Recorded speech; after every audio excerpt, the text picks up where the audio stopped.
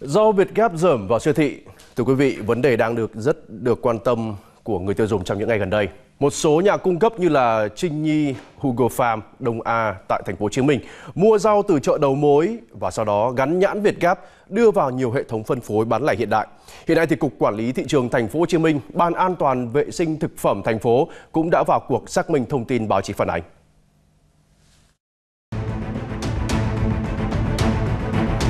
Theo điều tra của nhóm phóng viên báo Tuổi Trẻ, tại cơ sở sơ chế rau của công ty trách nhiệm hữu hạn một thành viên VAG,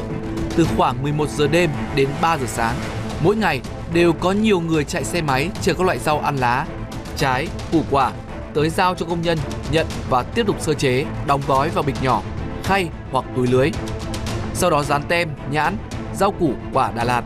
kèm thông tin công ty trách nhiệm hữu hạn nông sản Trình Nhi. Đặc biệt, trên tem của đơn vị này có logo biểu thị rau củ đạt chuẩn Việt Gáp.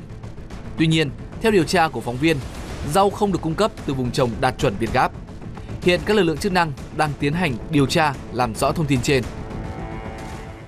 Ngay khi mà nhận được cái thông tin uh, vi phạm từ mà báo tuổi trẻ thì cục quản lý thành phố đã tổ chức họp để ờ, làm rõ cũng như là xác định có hay không cái hành vi vi phạm mà hiện nay thì ờ, vụ việc đang trong cái quá trình làm rõ nên khi có kết luận xử lý thì cục quản lý thành phố sẽ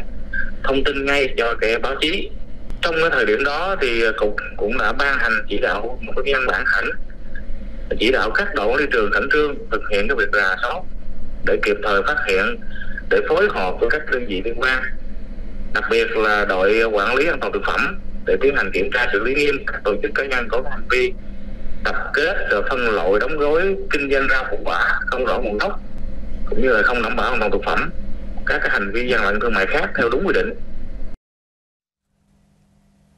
Vâng, rau sạch, rau đạt tiêu chuẩn Việt Kép thì sẽ có giá bán đắt hơn nhiều so với rau thông thường. Với người uh, tiêu dùng thì chất lượng rau như thế nào cũng chỉ nhìn qua được bằng bao bì hay là tem truy xuất thôi. Và ngay kể cả những siêu thị có thể kiểm tra được chất lượng rau khi nhập hay không. Và tôi e là nhiều siêu thị cũng sẽ phải giật mình. Hiện nay thì các siêu thị đang phải ra soát lại quy trình giám sát chất lượng các nhà cung cấp để minh bạch chất lượng.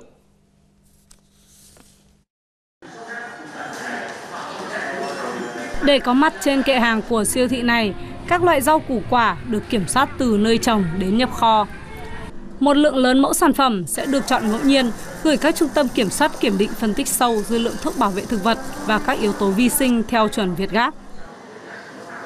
Đối với những cái nhà cung cấp này mà nếu có cái tiêu chuẩn Việt Gáp á, là phải thực hiện nghiêm túc cái vấn đề là công bố cái danh sách thành viên à, cũng như xây dựng cái quy trình kỹ thuật sơ chế chế biến tại à, đơn vị với sự giám sát của Sở Nông nghiệp và Phát triển nông thôn của địa bàn đó. Còn đại diện các nhà bán lẻ Việt Nam cho rằng cần phải có sự kết hợp chặt chẽ giữa nhà sản xuất và nhà bán lẻ để kiểm tra kiểm soát chất lượng sản phẩm. Chỉ đặt hàng dựa trên sản lượng cơ sở sản xuất có thể cung ứng được. Cùng với đó là sự giám sát tại địa phương của chính quyền để quản lý chất lượng của cơ sở sản xuất. Chúng tôi cũng đưa lên hàng đầu những cái tiêu chí về vệ sinh an toàn thực phẩm để làm thế nào người tiêu dùng ờ, có được cái lòng tin đối với ờ, nhà bán lẻ đấy là cái những tiêu chí mà ờ, đặt ra của các nhà bán lẻ từ khi mà họ thành lập cho đến suốt cả quá trình diễn ra Cục trồng trọt yêu cầu 12 đơn vị có đủ điều kiện cấp giấy chứng nhận Việt gáp trong thời hạn 5 ngày phải báo cáo lại quá trình hoạt động cấp phép của mình và sẽ tiến hành thanh tra đột xuất để ngăn chặn tình trạng giả mạo nhãn mác đối với rau dán nhãn Việt gáp vốn được người tiêu dùng tin tưởng sử dụng.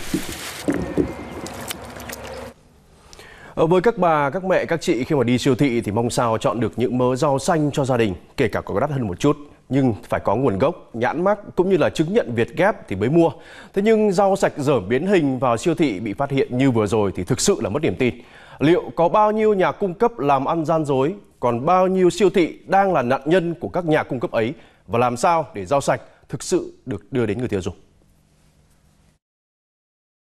Khi mà mình đã vào siêu thị để mua thì là mình đã đặt cái niềm tin trọn vẹn cho cái nguồn gốc xuất xứ của rau đối với lại là những cái nhà cung cấp phân phối rau vào cho siêu thị nhưng mà bây giờ có những thông tin đấy thì tôi cảm thấy là sức khỏe của tôi là không được đảm bảo và cái giá tiền thì là vẫn tranh lệch rất là cao hơn so với lại là tôi có thể mua ở chợ Trước đây thì tôi cũng rất tin tưởng vào siêu thị nhưng mà khi mà ừ, biết cái thông tin là họ tuần rau bên ngoài vào thì uh, tự cảm thấy mình là bị lừa dối. Bây giờ là cứ phải phạt thì người ta mới rút kinh nghiệm được chứ chỉ răn đe không thôi thì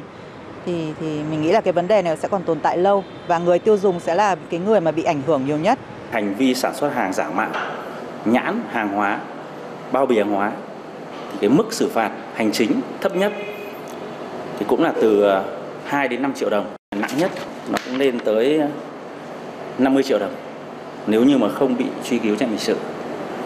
Đồng thời thì ờ, nếu như mà nó là cái hành vi mà làm giả hàng hóa là thực phẩm thì cái tổ chức cá nhân vi phạm còn bị phạt gấp 2 lần